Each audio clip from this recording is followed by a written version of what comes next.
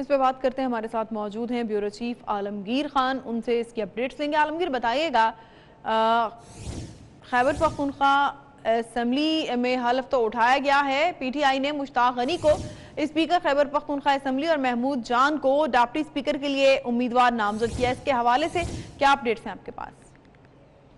جی بالکل پاکستان تحریک انصاف کے چیئرمین عمران خان نے باقاعدہ طور پر اس کی منظوری دی ہے اور سابق وزیر اطلاعات رہنے والے اور پھر ہائر ایجوکیشن کا عہدہ رکھنے والے مشتاق احمد غنی کو اسپیکر خیبر پختونخوا اسمبلی کے لیے امیدوار نامزد کر دیا ہے، جبکہ محمود جان کو deputy speaker Khyber Pakhtunkhwa assembly کے لیے امیدوار نامزد کر دیا ہے۔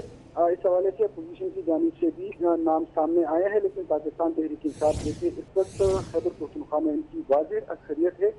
ابھی اسپیکر اور ڈپٹی اسپیکر کے ناموں کا اعلان باقاعدہ طور پر عمران خان نے خود کر دیا ہے اور اس کی منظوری دی ہے۔ اس سے پہلے وزیر اعلیٰ خیبر پختونخوا کے لیے بھی محمود خان کا نام فائنل کر دیا گیا ہے اور اس کو بھی وزیر اعلیٰ کے لیے امیدوار نامزد کر دیا ہے۔ آج جو ہے پاکستان تحریک انصاف نے اسپیکر خیبر پختونخوا اسمبلی اور ڈپٹی اسپیکر کا نام بھی فائنل کر دیا ہے۔ مشتاق احمد غنی کو اسپیکر خیبر پختونخوا اسمبلی کے لیے امیدوار نامزد کر دیا ہے۔